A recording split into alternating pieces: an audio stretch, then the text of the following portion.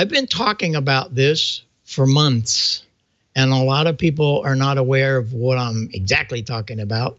But tonight we get to start it. And I just hope that everybody understands what's going on here. This just isn't about AM. It's not just about a transmitter. It's about building. Building. I want to try to get more people involved in building. And we're calling this the Pine Board Project. The reason for that is that we're building uh, this first uh, this first run will be building a transmitter on pine board. And why do I do that? Because you can see the circuitry. And so it, this all started with a very good friend of mine who is one of the AM buddies in the morning, W0BVT. That's one of his transmitters that he built. Pretty large transmitter, but he's on the air with it every day. And hey, maybe someday you'll be able to do that also. That's what we're hoping that you'll be able to build things. And I appreciate Dick getting involved with this so much. The, the situation is we want to try to not only build things, but we want to teach you what you're doing when we are building it. That's the key. A lot of times we uh, we we're not taught how to do things. Uh, we just do it. Well, here we want to try to teach you a little more than just soldering, putting things together. What I've done here, we come up with a schematic. You've seen schematics written. And this is a simple, this first little project is a simple field strength meter. And I know a lot of people say, oh, it's a big deal. No, no, no. The situation is I want to I, I want to start this to let you see what's going to happen as we go into each week because we're going to build a power supply, uh, a 300 volt power supply. We're going to build a, a microphone preamplifier with the 12AX7. We're then going to build the transmitter, then we're going to build the final tuner and all of that, and then we put it together. This is not just a one night deal. But in doing this, we're going to try to help you learn a little bit more about the schematics and the building. And not only that, you're going to have a lot of fun doing it. That's the key. We'll look at this again. We see this simple field strength meter. It's an antenna and a diode, and a very special diode, a 1 in 914, as a plus, and we're going to talk about that, a meter, and the, uh, the, the capacitor across that meter, and then uh, uh, the uh, potentiometer will set the sensitivity of it. Out here is a 2.5 uh, millihenry choke. Now, we've got something else we're going to do there. This is good for the low frequencies. But now let's jump to the next picture below it. I did a pictorial, and the pictorial shows us the actual part, what it looks like. That coil is one of these little guys. And uh, that's uh, that's in the front end of it. Antenna feeds that. Then it goes from there to the potentiometer. And you all probably know about potentiometers and volume controls and so on. Then we have the meter. You know, we talk about the flea markets a lot, and everybody says, Wow, why do you go to the flea market? Well, you go there to find these parts. Every one of these parts came from my junk box, especially this. Meters are tough. Whenever you see a meter, buy it um, this came from an old, it was an old mobile SWR bridge of Heathkits. And you just keep them because you never know when you're going to use them. And um, uh, I dug around the other day to, to put this together for you, and I thought, aha. But this is the capacitor that goes across it. And this is a 0.01. And the most important part is the diode. This isn't the diode we're going to use, but the reason I'm showing you this is it's a little bigger. So uh, you'll be able to see it. You'll notice that there's a band on that diode. Every diode is polarized. And we'll look back up at the pictorial or the, uh, the schematic. And that band has to be placed in this position. If you turn it around, it will not work. So you have to be real, real cognizant of the diodes when you install a diode. And so we end up with these parts. What do you do with them? Well, here's what we're going to do with them. I uh, I did a few things ahead of time. Why do I do this on pine board? What's the big deal? Well, the big deal is you can see as we go through all this. If we built this underneath a chassis, it's hard to hard to keep keep abreast of what's going, especially uh, to to young builders that haven't done a lot of building. The first thing I did is I mounted some terminal strips. The second thing I did, I went ahead and mounted the the, the diode. These, this one's a, a, glass diode. It's very sensitive, so I uh, I mounted that on. You'll notice that the band is on this terminal, the plus. So you have to pay attention. What is the next thing to happen? If you uh, remember again, there's a schematic. What are we going to do? We're going to mount that choke, and that choke's going to go over here and feed the, the potentiometer.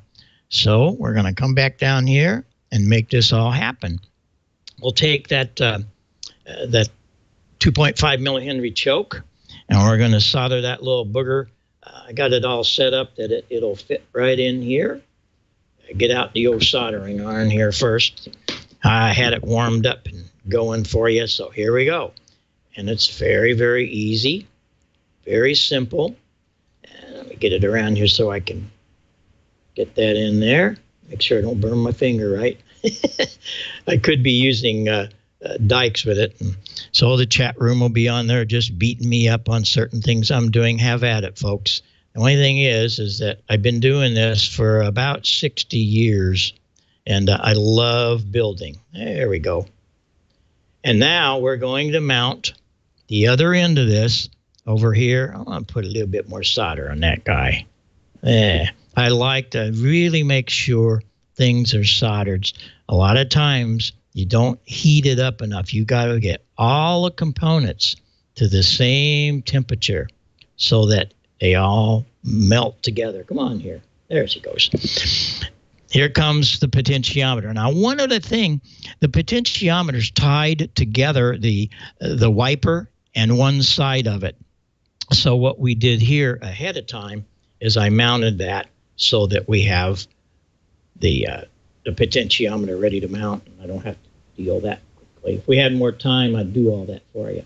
So that's going to come over here, and the potentiometer is going to go in here and we're going to solder it all together. And we're making headway. The one thing about the solder, you want to make sure you're using rosin core solder. That's very important. You only want to do this with rosin core. I'm going to solder the other side of the potentiometer, and we're almost there.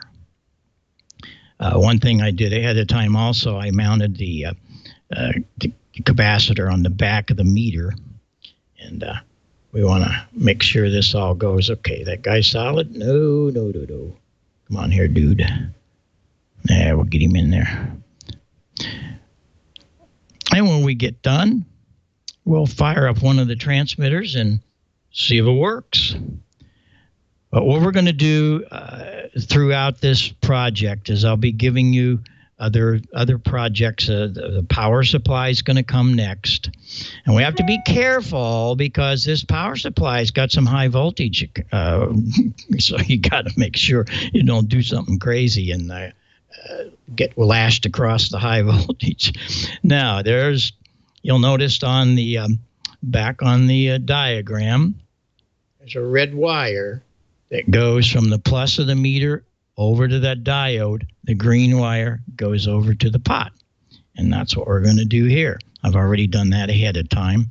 So let's take this green wire. We're going to put him in here and make it happen.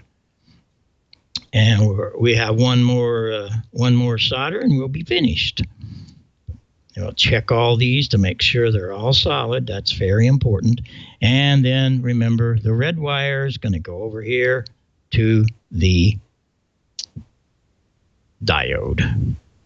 And we'll solder all that, and we got her happening. Let me get a lot of solder on him. There we go. On here, dude. Okay. And we have all of that ready to go. And what I'm trying to do here in this first project is try to try to demonstrate to you how we're going to end up doing this. Each week we'll do a little bit of, of other things. Uh, the, the preamplifier with the 12AX7, the power supply and all. And, and you're going to be able to see what's happening uh, because it's all going to be out in front of you. And it, it's a wonderful way to build things. What's the last thing we have to do? There's one other very important thing, of course. We have to put a knob on the pot. now, once you get this going, when you go to the next Hamfest, find an enclosure for it or go down to the hardware store and look around. There's one important thing we haven't done. What's that? An antenna. Well, just for just for funds, I, I just took a couple of leads, and that's where the antenna goes. Not antenna could be a, a, like a rubber duck. It could be a connector and do it to a a piece of wire or another uh, type of antenna, but you got to have an antenna. So what we're going to do is fire this thing up and see what happens. I got about three minutes before we got to go on here. And well, let's go up here. There we go. Let's get that going.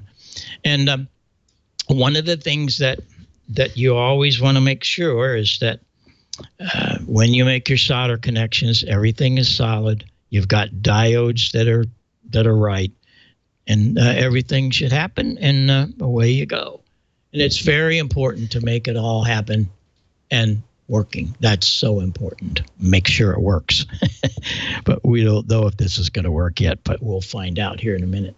Um, what we want to do uh, for all of you uh, uh, out there in radio land is, is I want you to build. That's so important to make things happen. That's that's the critical piece to me is to make sure that when you do things that we will be able to make things happen. Okay, let me go over here and get a little carrier happening. There we go. And that should do that. And uh, I got very little RF coming out of there. I don't know if you can see that, but I have I need to have a better antenna on it. But uh, uh, there we go.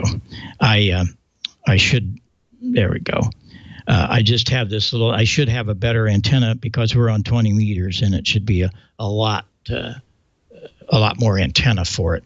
But there we go, and it's uh, it's one of those things that if you put this all together and make it work for what you're trying to do, the frequency, then things will happen.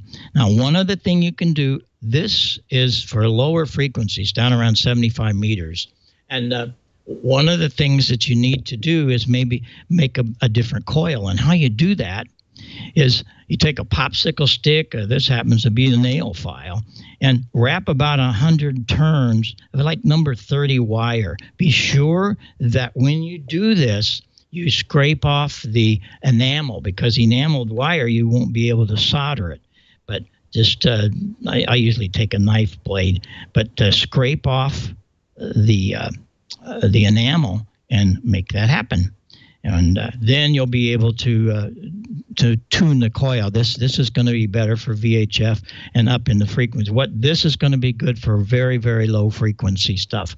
But um, if you uh, if you're out there trying to make things happen uh, for the VHF, then you can use your little rubber duck, and that'll work really good really, really good. But uh, that's what we want to do we, as we get through all of this. We want to make things happen. We want to make sure you understand all of the pictorials, the schematics, and so on. And uh, you'll uh, you're going to be having more fun building. That's what it's all about.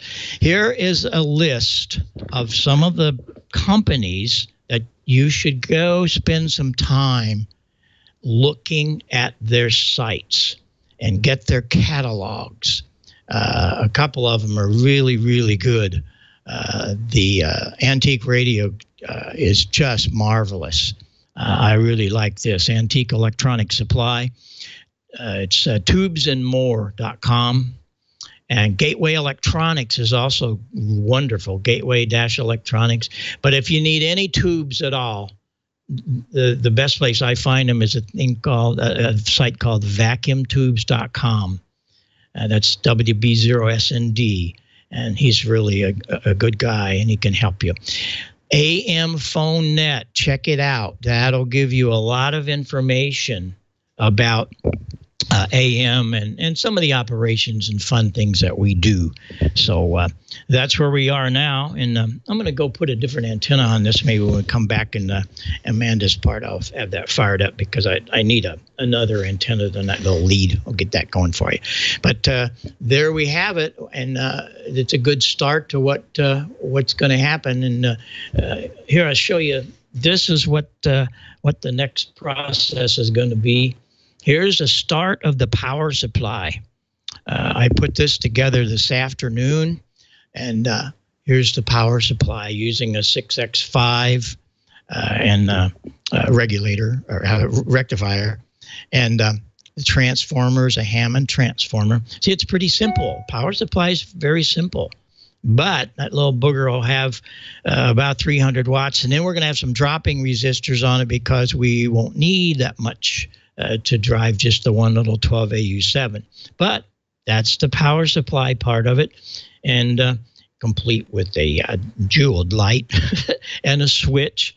And um, uh, the transmitter, here's what the transmitter looks like right here. This is a, a single tube. It's a 12AU7.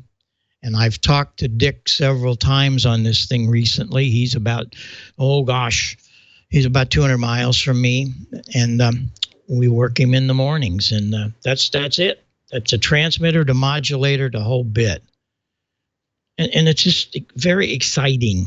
And uh, the main thing is, uh, it, it's it's all about building. So that's where we are from here. I hope that uh, hope that you get to learn something through the project, even if you don't build it. Uh, that that you can learn what's going on and and join us uh, with all the fun that we have uh, on AM or wherever. You can use this on CW also.